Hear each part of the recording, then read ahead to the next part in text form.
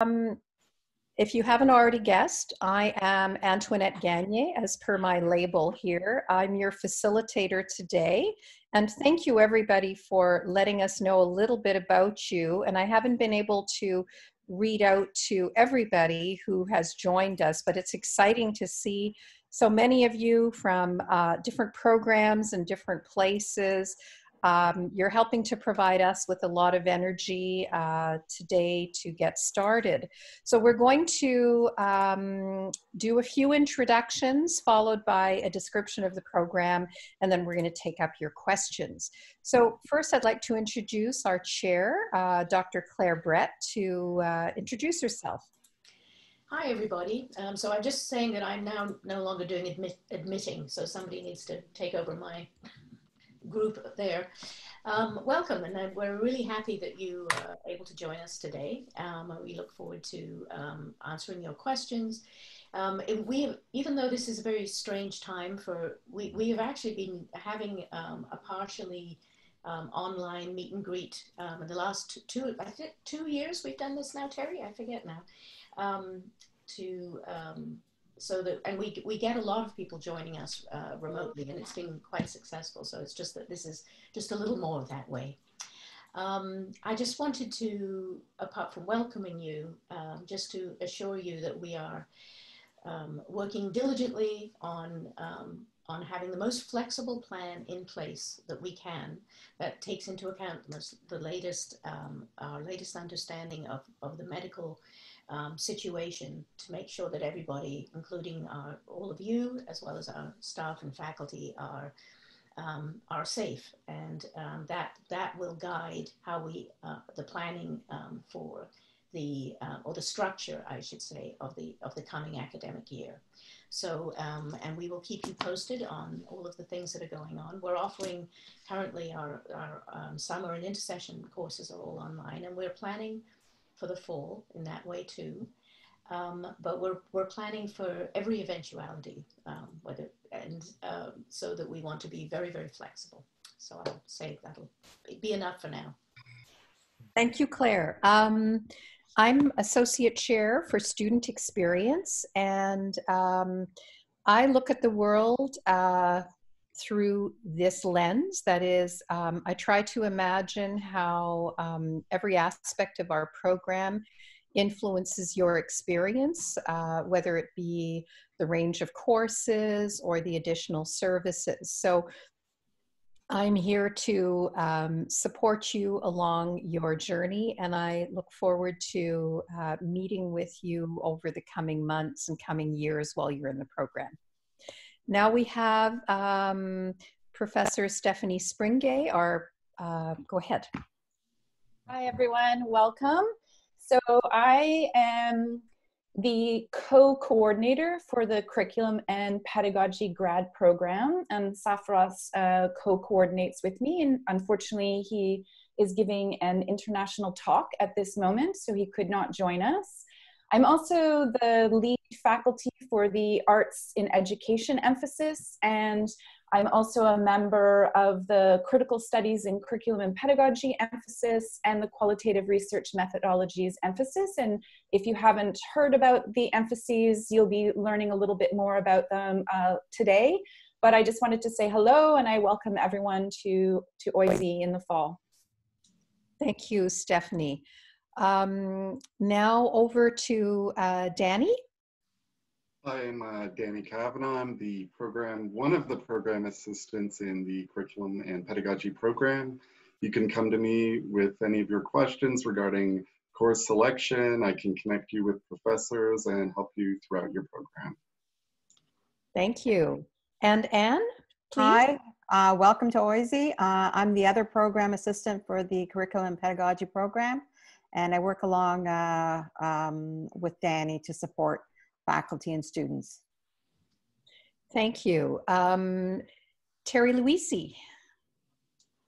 Hello, everyone. Um, welcome. It's great to have you with us from all parts of the world. It's fantastic. It's a great community of scholars, and uh, it's a great community in general. And we're uh, we're glad to to to invite you to join us. Um, I coordinate graduate programs uh, for uh, CTL, and I, um, uh, I, I, focus on helping uh, registered students, current students, um, with a variety of different questions. Also work on communications and governance um, and course scheduling. Um, so uh, my, my door is always open. Uh, welcome. Thank you, Terry. Um, next, uh, Cheryl. Hello, everyone.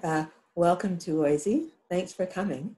Um, I um, work as the acting graduate liaison officer here in CTL, and I'm involved with um, the administrative aspects of the admissions process for the CNP program, Curriculum and Pedagogy, and uh, for one of the other programs in the department. And I'm also um, the person uh, who is the contact person if you've got questions around uh, scholarships and awards. So again, thank you for coming today, and I'm available. Um, you're welcome to send me an email if you've got uh, questions, um, you know, after this event, and also, you know, once you um, start up your degree at OISE. Thank you, Cheryl. And um, last but not least, um, Kathy, please. Good morning, everyone. I'm Kathy Bickmore.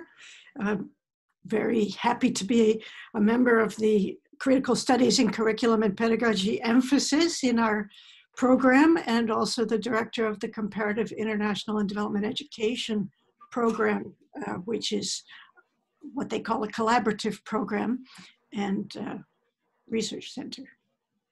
I'm glad you're here. Thank you very much. Um, we may have uh, another professor who is the lead for the well-being emphasis um, join us a little later. If he does, I'll make sure to take a brief moment so that he can introduce himself. His name is uh, Jack Miller.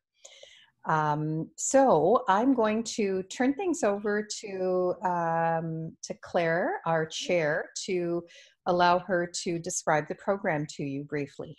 Okay, and I'm going to just put up a set of slides, um, and which will,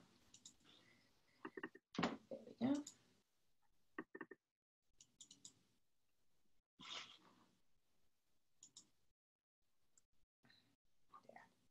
There. Okay, let's see if that's visible. Everybody see that? Yep. Okay. always wants to know that. Okay, so I'm going to go through some of the kind of key things to, um, to keep in mind um, moving forward, which would be nice if my cursor was actually responding. You have to find a little arrow at the bottom on the left-hand side as we scroll over the screen. I wish I could see a little arrow. Why does this always happen? Aha, thank you. Yes, I think, ah, there they are. Lovely. All right, got the arrows. Thank you. So, um, yes, so starting with, we have a real, one of the strengths of our program, I think, the critical, um, sorry, the um, curriculum and pedagogy program is the variety of, of courses we offer. So it's a very rich experience. And there are, um, as you can see from the little, um, the, the, bubbles here, the blue bubbles, um, we have a whole range of, of areas, science and education, educational technology, curriculum and theory, Aboriginal education, assessment, mathematics, arts, history, teacher development. And um, there, so there's a real, uh, real choice, and um, it, it, makes, I think it makes a very um, interesting and rich program actually for everybody in, um, in this experience. And you can choose courses that, that um, work um, for you and your own interests. Um, in, one of the things that we introduced um, a, a, couple of years ago now was to, because of this breadth, so with breadth comes choice, but it also some, can come confusion. So we, we decided that we would um, really focus on what we thought were our sort of core strengths and, and pull together groups of courses that um, fit with some of those strengths. So arts in education, critical uh, studies in curriculum and pedagogy that, um, that we both mentioned earlier, qualitative methodologies, science, math, and technology education, digital technologies and education. And actually, we're just in the process of getting through governance a new, um, um, it'll actually be um, an MEd in, um, in online learning, uh, online teaching and learning. And so that will be, it'll be a new field. Um, so that, and that will be a fully online program that we'll be adding to our uh, array for next year. Uh, Indigenous education and decolonization, science, math, technology education, and well-being. So there's a real breadth there, and the, those, um, and we, we, in order to, you can have this um, um, noted on your transcript, you have to take three courses within um, any one of these emphases for, um, and the course lists that, that are appropriate for that particular emphasis, that count for that emphasis is on the, um, on the um, website. So you can look at those. Now, our collaborative specializations um, are also very diverse, as you can see from the titles. So, um, and Kathy Bickmore, um, who just mentioned mentioned um, before in, in, in one of the emphases, is also uh, the current chair of comparative international and development education. And do you want to say a couple of words about that, Kathy? I could do. I'll try to let, limit myself to. Yeah, just a quick, yeah. Something like a couple. Uh, it's kind of a funny term, collaborative specialization. What it really means is interdepartmental. Yeah. Uh, and so people have a home program. In your case, I hope curriculum and pedagogy or other programs in CTL, and then they add on the collaborative specialization. So they have an additional intersecting community at OISE. And one of the lovely things about curriculum and pedagogy is that our program is flexible enough so that those can dovetail and you can finish your program at the same time. You're also welcome to be part of any of these research centers and specializations without joining, coming to our seminars and so forth to maybe generate new interests that you didn't have before. Uh, most people have applied to these collaborative specializations at the time of original application, but for most of them, including CIDE, it's possible also to apply as what we call transfer in if you didn't know about it before. So feel free to ask me questions and uh, come to our orientation in September and, uh, you know, welcome. Okay, thanks, Kathy. That's great.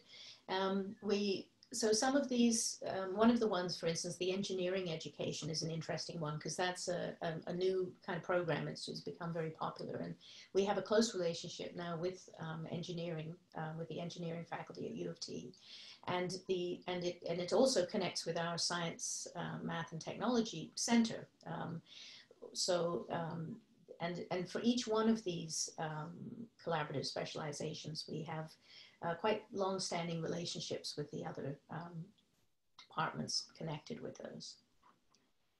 Okay, um, so and research centers brings us to research centers. So we have a rich also um, set of research centers and journals actually, which have been um, growing.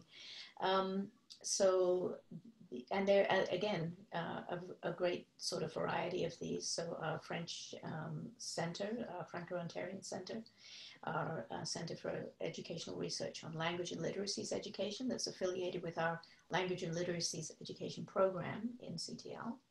The one I mentioned before, Science, Math and Technology Education, Urban Schooling, and the Institute for Knowledge, Innovation and Technology. And these are all described fulsomely on our website, so you can, you're welcome to look at those a little further. Uh, curriculum inquiry in the journals is a, is a very, um, very successful, very uh, well-known journal in the area. And um, um, that's been going strong for um, a long time and we hope will continue to do so. Uh, Canadian Journal of Science, Math and Technology Education is affiliated with the center that, um, the, that I just mentioned. And, um, and it too has been around for, for a long time and um, and is something that you know we many of us um, publish in. Um, there's the Journal of Classroom Research in Literacy, and a new MT um, research journal, um, which uh, was launched really last year, and uh, so that's that's growing too, and and an interesting one that focuses takes very much a teaching and classroom kind of perspective on things and the Journal of Curriculum and Pedagogy. So these two are also described on our, our website. But there's so there's a lot there's a lot going on here. And um, I lost my arrows again. Here they are. Here we go. So some of the nitty gritty here. So in CNP, um, you would take um, for a, a PhD um, the courses, the seven courses, four courses in CNP, including our Foundations of Curriculum course, very important one, and at least one CNP approved research methods course. These two are also listed on our website. Two more courses, which are electives, and um, the Doctoral Pro Seminar course. And um, the electives you can take in, um, in other parts of um, OISE, in other parts of the department, um, and even uh, across the uh, across the road, across Bloor Street in, in the greater, larger U of T. A part of your requirements, though, for the, um, for the PhD would also to be take a comprehensive exam. And those look different depending on which program you're in, but there, there, there's a, a layout for, for this. Um, it's a paper in um, CNP that you write. Um, and we have um, um, detailed instructions on how that, how that works. And you also would write a thesis for that as well. Now that for the flexible time PhD program, this is this is a sort of alternate option for those who are practicing professionals and um, and particularly if that um, your intended field of study um, we assume is, is going to be connected with the work that you're doing in the world. The flexibility offered is that you can arrange your schedule to accommodate your studies. And um, but you still need to, you know, think about time that you can spend on your studies and work. I mean, we, we say on campus, but that, and hopefully we will soon be back doing more of that. Um, and there's a sort of residency of four years of full-time registration um, at the beginning of the program. And then you can apply for part-time status after that, which is uh, cheaper, obviously, and allows you to finish up in a, in a way that works for your own life and, and needs.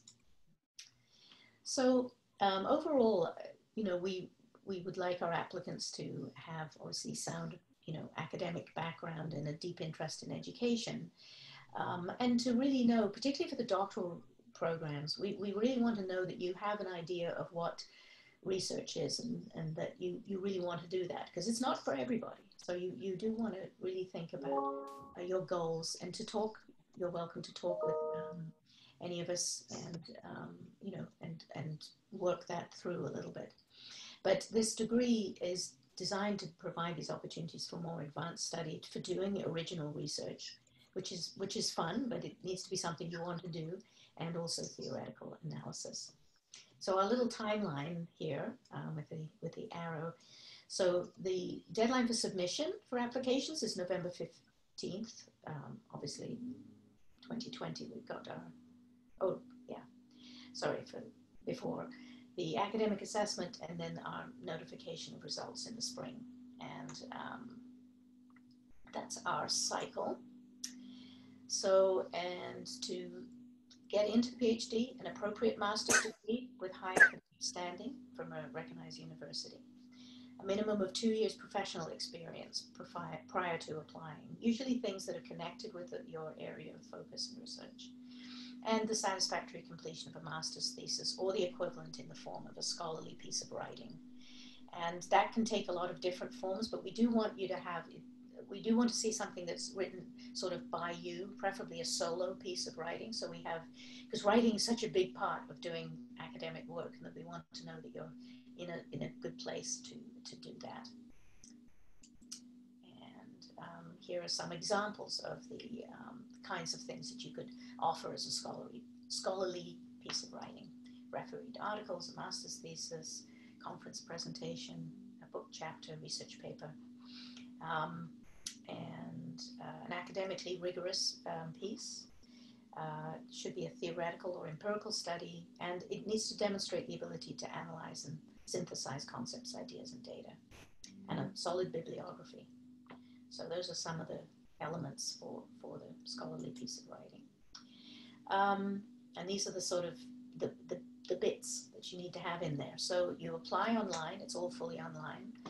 Um, you post-secondary transcripts. Um, they can be submitted online too. Um, and the, um, the hard copy directly to admissions division of our registrar's office. In the, and your CV should clearly describe your education and employment history, your research experience, awards, achievements, community activities, special skills. Um, I always encourage people to put in things about writing. If you've done work in curriculum, you know, you could um, add those sorts of things in. The statement of intent is very important because it, it, it's the way that we figure out whether you really want to, you know, how you um, um, how you fit really with, with us, with, with the interests of the faculty and the department and so forth. And so, so, you know, discuss your academic interests and your experience and your professional concerns. Identify faculty members that you, you know, whose work seems to resonate with, with, with your interests. And remember to talk about how you're a prof practicing professional if you're applying to the flexible time PhD. The academic writing samples, the other piece, we just talked about that, and reference letters. We, we really need to have an academic reference and a professional reference. Um, we find that's a kind of good mix. And evidence of English language, language proficiency may be applicable. And there's been a couple of um, changes. The um, Antoinette can speak more to this um, perhaps if, if people have questions, but um, we are also adding the Duolingo, the new Duolingo um, uh, language proficiency test this year because of the complexity of, of um, the current COVID related situation. So we've um, made that a little bit easier to include. Um, the the base funding package, the graduate base funding package is extended to full-time students in years one to four and it's approximately, as it says, 24,851, which includes tuition and incidental fees. And there's more, way more information on this on the website as well. And this is for our, um, that, that's for the full-time PhD students, not for the flex time, because the flex time people assume to be in, um, you know, in, in full-time employment. Okay, and um, scholarship and awards deadlines, and they're, they're usually um, set a year in advance of the time the funds are awarded. These scholarships are competitive, and um, there's on the CTL website is a summary of these deadlines and the different kinds of awards that you can apply for. It's definitely worth looking at those. Um, that's a good thing to um, get on top of even before you come. And here's all our contact information and um, for our program staff um, Danny and Ann, who introduced themselves earlier, and also Terry and Cheryl, who did as well. And um, finally, then we, this is the um, Office of the Registrar and Student Services. And um, the important thing at this point is not just to know it's on the eighth floor, because you won't be necessarily going there, but admissions at sorry, admissions.oisey at utoronto.ca is the way to get hold of them or the um, phone number. And similarly, this is all um, online as well. So I think that's it. And um, thank you for your attention and we can um, answer questions. And I will escape from here and stop sharing my screen. Okay. Have I managed to do that? No. All right. Terry, can you, am I still sharing my screen? I'm now. Clare, yes, you are. Oh dear. Um, because I can't see, I can't get back to my Zoom thing. Okay. Which won't come up it won't show me my thing here. Ah, there we go. Got it. Too many things open. Okay. Mm -hmm. Why will it not let me just stop sharing my screen? Are you still sharing or? Well, can you see my screen? All right.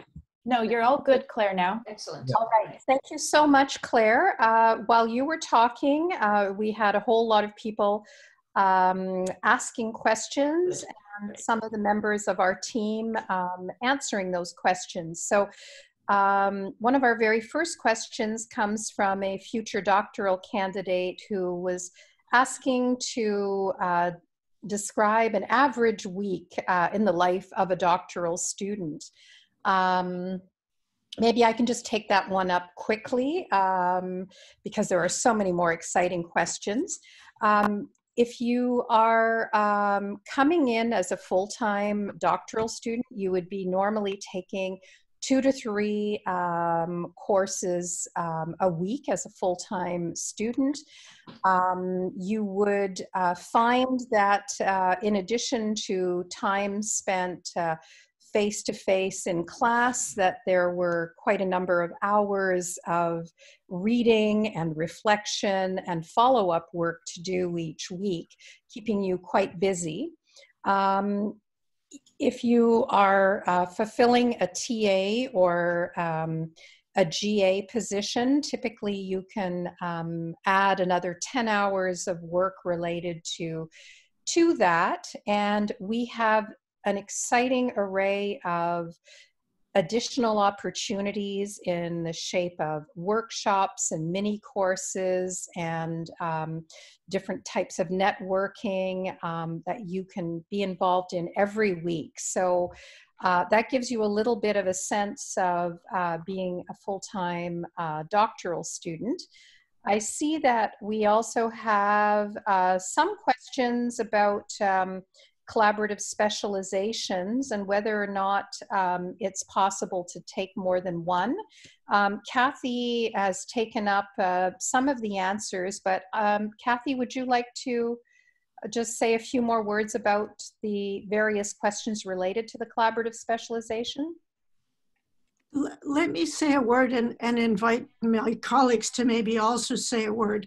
It is not impossible to take more than one specialization, but you know, the word specialization sort of implies that you're specializing in that area, and it can be quite tempting in such a rich program as, as CNP and OISE to try to do too much. Mm. And so I would encourage you to explore more than one specialization if you would like to. And in exceptional cases, sometimes people really do manage to dovetail more than one. And some of this argument applies to specializations within the program as well as collaborative specializations beyond the program. That is, you, you can't do everything. But this is a really good place for using the advising system. Your advisor's name is on your admission letter. Congratulations. Talk to them. Um, there was a question about when all this happens, and there was an opportunity when you uh, initially applied to indicate your interest in collaborative specializations. But as Stephanie has pointed out, uh, this is something that you can also do uh, once you begin your studies. Um, so it's not like the door has closed. You can look at uh, the addition of a collaborative specialization after uh, your registration in the program. Space available, so it depends a bit on the on the collaborative, but you should by all means get involved, get on the list search so you know what's going on, and contact the office, which will get you to the director of the specialization you're interested in to, to find out more. I know CIDE at this point does have some space for transfer in. Um, there is a question about the uh, professional seminar, um, or what we call for short the pro seminar in curriculum and pedagogy, and whether or not it's like a regular course. Um, it is a accredited course, it is a requirement, and uh, the workload would be very similar uh, to what you would expect in any other course. But there is a strong emphasis not only on um, content, but also on process. It really will help you to understand what it means to be a doctoral student and what the journey um, ahead involves. And um, thank you for all those who are uh, providing different answers. Um, I'm trying to focus on those um, that everybody might benefit to hear from. Um, there's uh, Cheryl, who's provided um, lots of information about scholarships. Um, and we will be posting um, a version of uh, this presentation as well as all of your questions and answers so that if you don't have a chance to get exactly the piece of information um, that you're looking for, you'll be able to go back um, and consult. Um, so let's see. Um, all right, there's a question about um, the graduate assistant positions. And um, there are questions about how this works in terms of application. Um, perhaps Cheryl, you could just explain a little bit more about uh, how this works for our full-time doctoral students. Sure. So I posted something um, in the chat. Um, I might just uh, repost it. But essentially, if a person is an incoming student and they're a full-time thesis track student, so a full-time PhD or a full-time Master of Arts student, um, they are eligible to work as a graduate assistant, a GA, and that would be part of the um, graduate-based funding package. Um, and so the graduate funding office, uh, a division of the dean's office, um, would have included some um, information as part of your offer of admission letter. Um, and there should be a link to their um, email address in that letter, um, which I'll repost in the chat. Um, and uh, they can let you know when you can start to have access to the online GA system where you would apply for jobs. at the moment, faculty members are posting jobs on that system and so students don't have access to it yet. It won't happen until a little bit later um, when they can take a look at the jobs that are available. And then a matching process would occur to match those students up with jobs to which they have applied. Um, so the process for students doesn't start up just yet. Um, it should happen in the near future. But as I say, the um, graduate funding office, um, uh, if it's not in the offer of letter package, then you can check with them to see um, when you should have access to that list. Um, so I'm just going to repost the um, information in the chat space, see if I can get it in there with their um, email uh, address. Thank you so much. Um, we have also a question about um, the advisor and I'd like to um, help you know where you can find out who your advisor is. And um, if you uh, take a look at your letter um, of offer, you will find at the bottom there is information about who your program advisor is. And just a few minutes ago, Kathy uh, Bickmore suggested that you reach out to that advisor to get help on um, any number of topics. Um, one of them certainly is course selection. And you can uh, reach out via email and request a conversation with your advisor who can give you some tips. Um, you can also ask them um, any other range of questions about the program. But we also have wonderful um, program assistants who can also help you with those matters. Uh, so lots of different people can assist, but each of you will have a named advisor on your letter of offer that you can, somebody you can reach out to. Um, a master's student um, is like any other student, and uh, if you are in the full-time program, um, you can take up to three courses a semester. Um, so full-time students typically are taking two or three courses a semester uh, in the fall and in the winter, and you can take up to two in each of the uh, more intensive um, spring and summer semesters. If you are, uh, there's a question about being a flex time PhD and wondering uh, whether um, the schedule and uh, typical week would be the same? And um, the answer is maybe, but not necessarily. So the beauty of being a flex time um, PhD uh, student is that um, you kind of control how uh, quickly or what pace you'd like to move through the program at. So if you uh, have a demanding full-time position and you would like to just take um, one course a semester, that's okay. If you have maybe uh, a little bit of a break in your uh, work schedule, you can decide that you're going to take as many as three courses.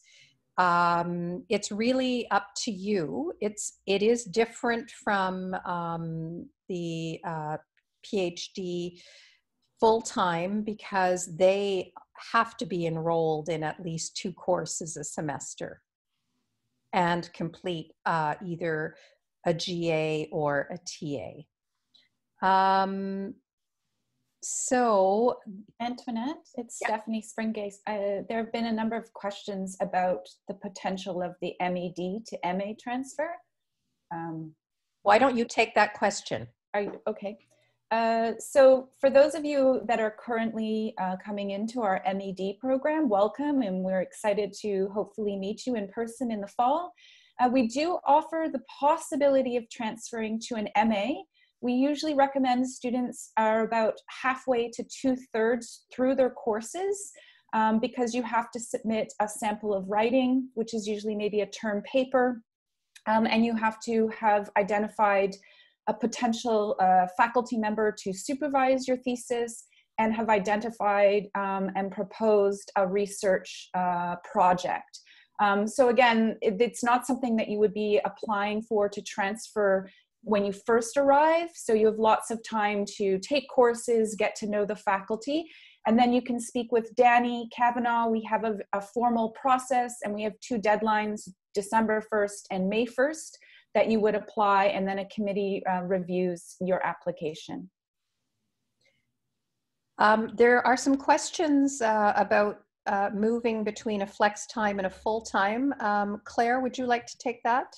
Yeah, we um, there is not really any movement between those because the the full time um, funded is is funded, and so that that funding is uh, for four years, and it's so it's it's a pretty tightly um, um, framed uh, set of deadlines, whereas the flex time is uh, for people who are working um, and um, in you know in, in, a professional capacity. So they're they're kind of different. So there isn't, um, um yeah, there isn't a, a tra- you know a transfer process for that.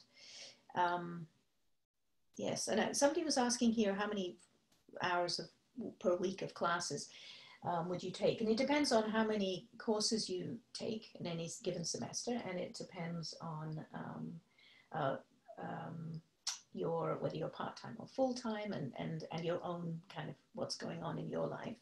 So, but the classes are all three hours. Um, and in, in a normal kind of face-to-face setting.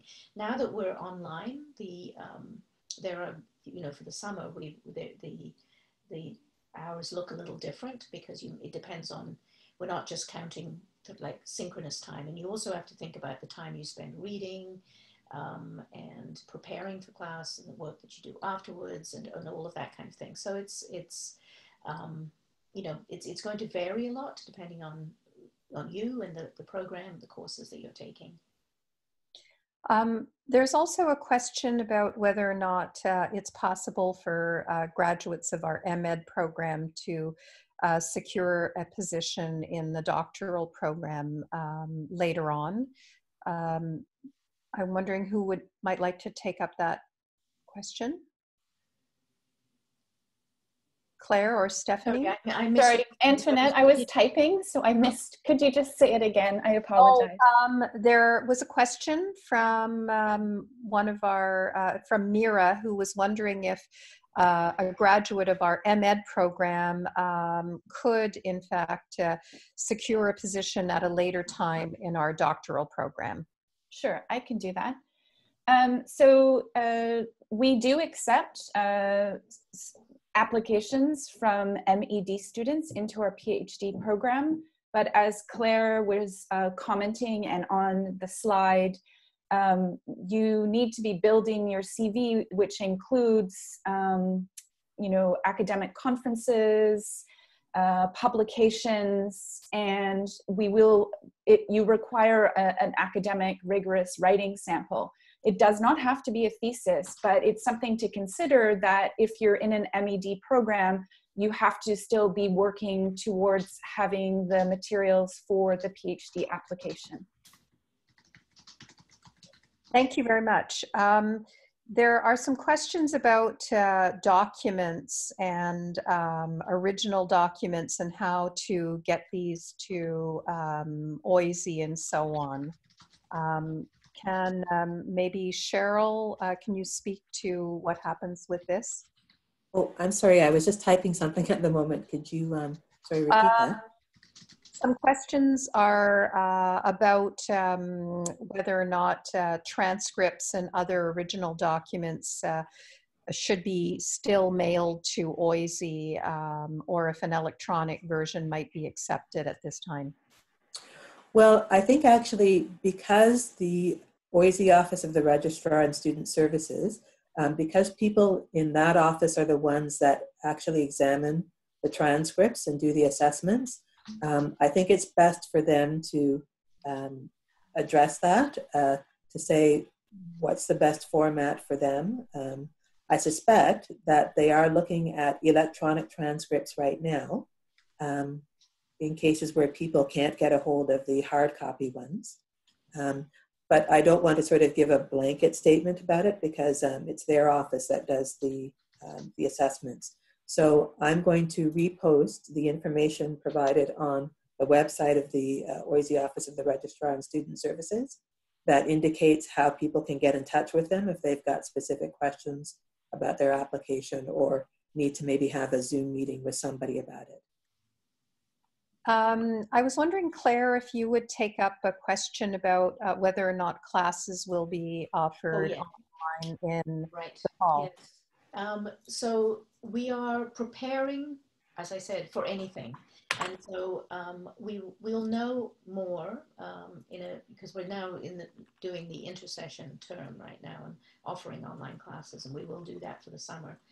Um, we're preparing for um, a graduated return if, if we are able to, but we're also recognizing that for there'll be a lot of we will still have to do um, social distancing, um, and that's quite complex in a building like OISE. We've already um, created a plan for um, reducing the number of people in elevators and the and the waiting. We've staggered all the start times for all of the programs and all of the departments and all of the tenants in the in the um, building as well, in case we are able to come back and like with no more than three people in the elevator. But um, until we are we have better um, and, and more solid um, information about whether we have access to, to testing and um, rules around wearing masks and all of that kind of thing. Um, if, if social distancing is still in play as much as it is at the moment, we'll probably stay online for the beginning of the fall and then hope that we can go back um, to face to face as soon as, as, as we can. But, you know, but that we will be guided by the medical advice. And there will be people, um, and I'm actually one of them, who, who are immunocompromised and won't, and that could be staff or faculty or students. And um, so f- until we have something um, like um, a vaccine, um, th- those people are, you know, at greater risk and will probably want to continue um, connecting from off campus. So it's it's a bit of a waiting game, but we are um, we're ready for anything actually.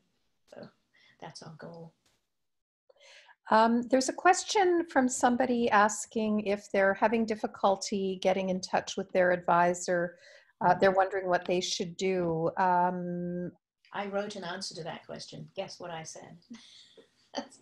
I, I, I know I suggested that they, they get in touch with you or me, Antoinette, if they're really having having an issue. Yeah. Or you know, and and we can we can we'll happily give you some advice. Um, so. But All right. Danny Cavanagh is also pretty good at chasing advisors, so he's another one. Ah, okay. So you could have an okay. So Danny will help you chase the advisor. That's not a bad idea. And then if that doesn't work, you can come and talk to Antoinette or I. Um, there are questions about the length of the semesters. So typically, uh, we have classes for 12 weeks in the fall and 12 weeks in um, the winter semester. But um, not everything related uh, to the course may be packed into that time in that professors will often um, allow for another 10 days or so at the end of the semester for final assignments to be handed in. Um, there's a question about tuition fees uh, for the fall. Um, Clare, would you like to take that one up? Um, yes, the the university is not planning to change the um, uh, the, the um, fee structure. Where we are looking for things like flexibility for our doctoral students who are finishing up, who you know who've who've had to delay and who may start a bit later. But we, we're a big kind of, we've done a lot, a lot, a lot of work on um, online learning. Anyway, there are a lot of people in this department who've been working in this area for many years. And, um, and I think that we, we um, our courses are really good. And so I don't see this as being a, um, a kind of lesser quality education. Um, we've also put an enormous initiative in place um, where students and former students and um, faculty from CTL have put together um, a, a, huge support site for faculty and students um, who are going to be um, online. And we have, um, yes, there it is. And we have um, access to this and you're welcome to go in there and look at all of the resources. We have stuff on wellness, on um, little tutorials, little short tutorials on how to use the different systems that we will be uh, using here. We use um, an in-house uh, LMS called Pepper, which is very simple to use, as well as Quercus, which is built on Canvas, another LMS. And we probably will use Zoom for some of the synchronous elements. So it'll be those tools and support for how to do all of those things, advice on, on, on preparing for an online course if you haven't had a lot of experience in that is all available on here. And there's also individual one-on-one -on -one support offered for faculty or students who um, are having challenges. And that's that, that site, this site, and the support will continue through the summer and into the fall, and we will keep that going. So there's a lot of, um, there's a lot of help for, for um, getting into the swing of, of that work. Thank you, Clare. Um, I, um, wondered if um, there are any other, I, I, see that there are lots of questions that have been answered uh, by members of the team. Um, are there, to, go ahead. Yeah, I just wanted to uh, mention in terms of course enrollment, um, um, once you accept your offer, and I'm certain that all of you will, that uh, course enrollment, you'll be able to view course offerings for the fall and winter beginning uh, June 22nd. And I've submitted the, the web location for that. Um, but uh, so course enrollment actually begins July 8th at 6 a.m. in the morning. So the idea is that you uh, visit the website on June 22nd and start constructing uh, your intended schedule for fall and winter, and then um, uh, be ready to uh, start adding the courses through Acorn, and I'll send the uh, link to that as well. That's the uh, that's the student record system. Um, the the internet interface for our student record system where you can add courses. Uh, you'll be uh, wanting to um, to be ready to add your courses at 6 a.m. on July 8th. So I'm just going to put that into our chat uh, one more time. Good. Okay. Right. Are there any other questions so can, that can um, any of you would like to pick up? Yes, Clare? I was just going to suggest that Clare, we, go ahead. can save the chat and send it. Sorry. Um, can um, can we save the we chat um, screen here and send it out as a file? We will do uh, that. what we will be doing is actually uh, taking all these amazing questions and organizing them thematically okay. with all the responses and uh, posting them alongside a um, a video version of uh, today's meeting. Oh, so um, it won't be necessary for you to scroll through all of it, but you'll be able to look for the particular items that you're um, interested in.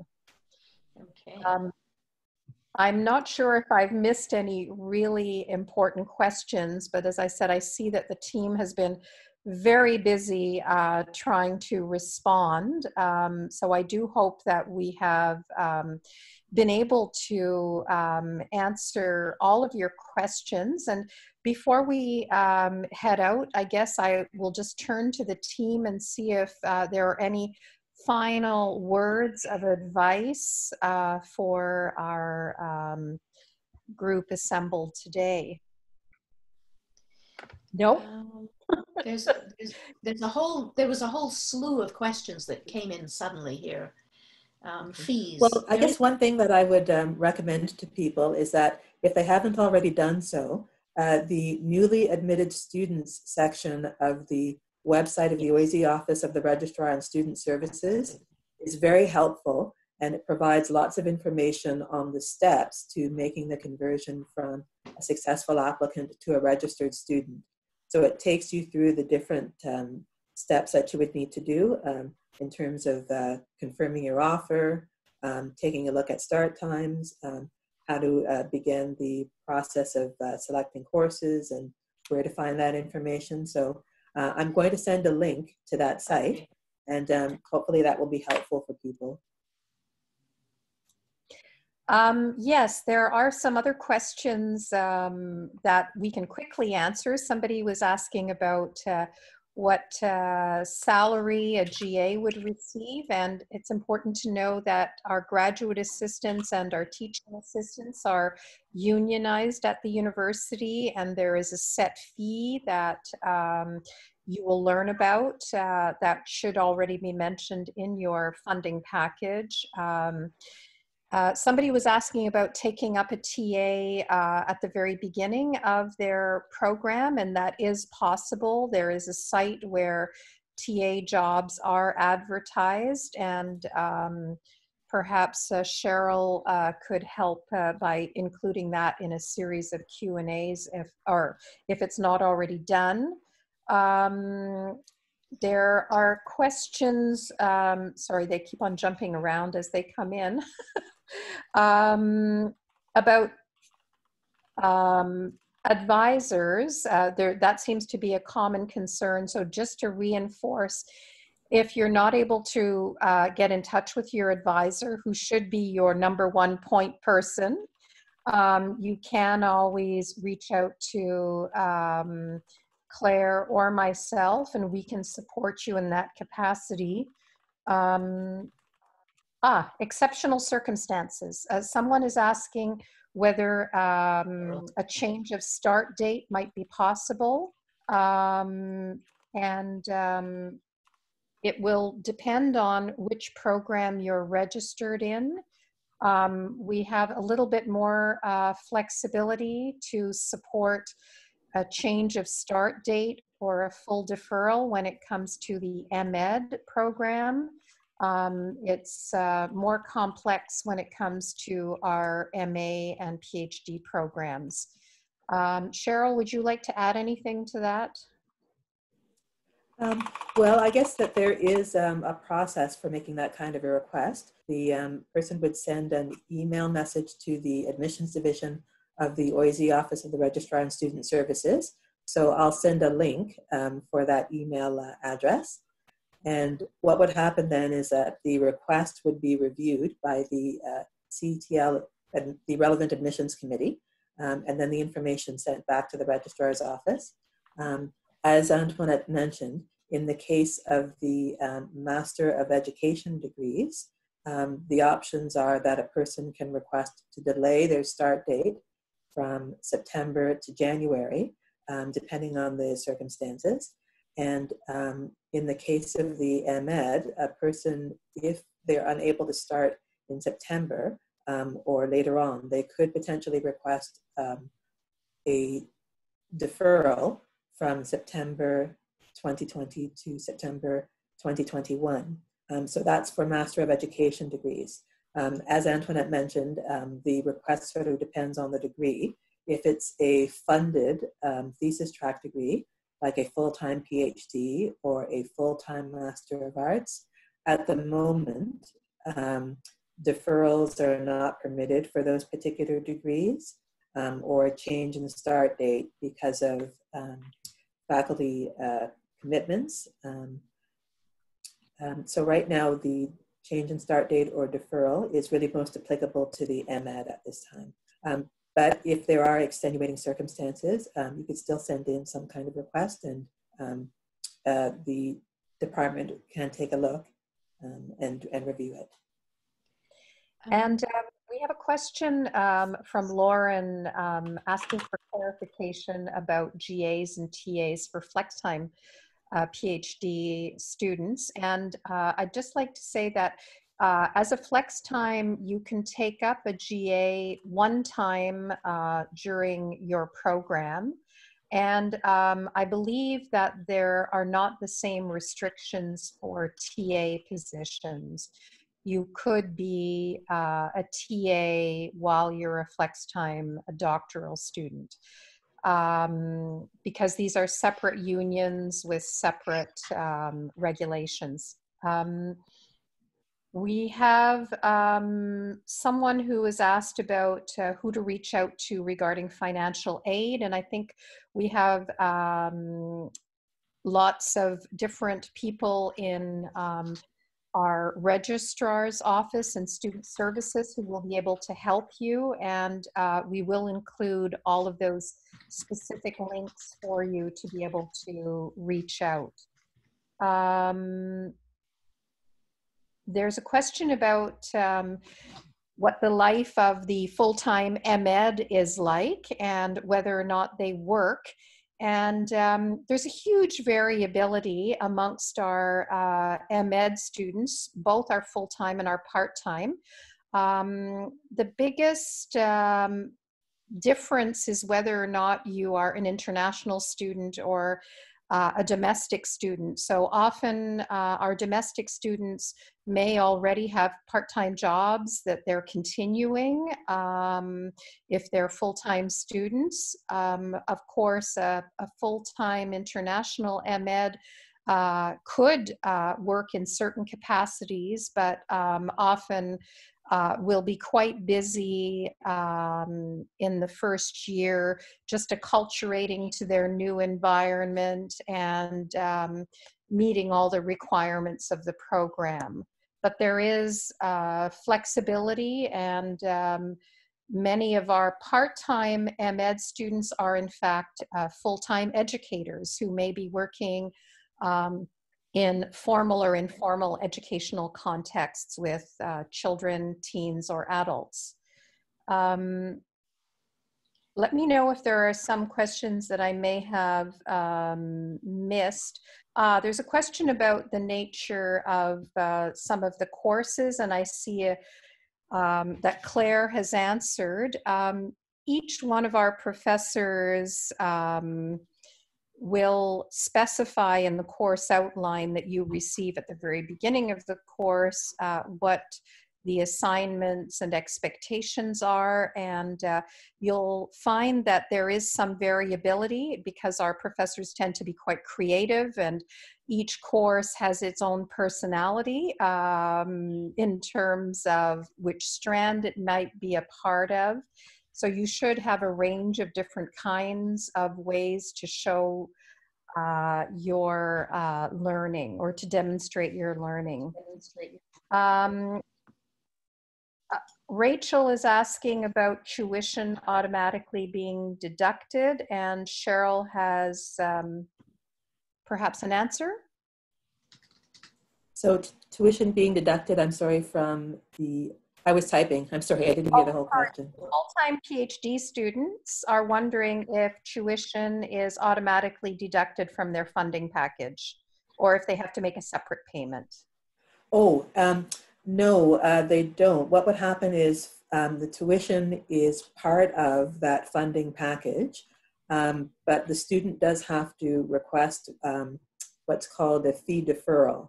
Um, and so that process, they're guided through that process by the Graduate Funding Office. Um, so I can send the um, email address again for that office if, uh, if the student has questions about that. But I believe that that kind of information is part of the funding uh, package information in their offer of admission letter. Um, so their offer of admission letter has uh, multiple sheets to it. The first one has the actual offer information, and then subsequent pages um, provide some information about the funding aspect of their degree. Um, but I will provide the um, Graduate Funding Office information email address in case there are further questions about that. Um, and one um, thing that came to mind that we haven't really talked about is our amazing work study program. So, for uh, those of you who are uh, with us but not in one of our funded programs, you can apply for a work study position, which um, will give you amazing experience working somewhere in the University of Toronto. There are hundreds of jobs um, advertised each semester that you can apply for. So if you um, Google Work Study University of Toronto, you'll get a sense of the program. And we can add that into um, our Q&A for you that we will be posting. Okay. Um, I see that we are nearing um, 1045, which is about 15 minutes over our uh, time. So um, I guess, again, I um, want to reassure you that we are here to respond to your questions. Should you have more, we will follow up with this meeting. And um, we're extremely excited about you joining our program and we appreciate that some of you are still up at um, nearly 11 p.m. in your time zone. And I see from our earlier um, chat exchanges that some of you are joining from uh, parts of Europe, uh, parts of Asia, and also parts of the Americas. We have um, lots of diversity, and I'd say that's one of the most exciting um, aspects of our program. It is you as future graduate students who really uh, bring um, a great deal of richness through your diversity. So thank you for attending and um, we will see you um, virtually or in person in the fall. Great. Okay. Thank you. Thanks, Thank you very much, Bye-bye. everyone. Hey, thanks for coming. Bye.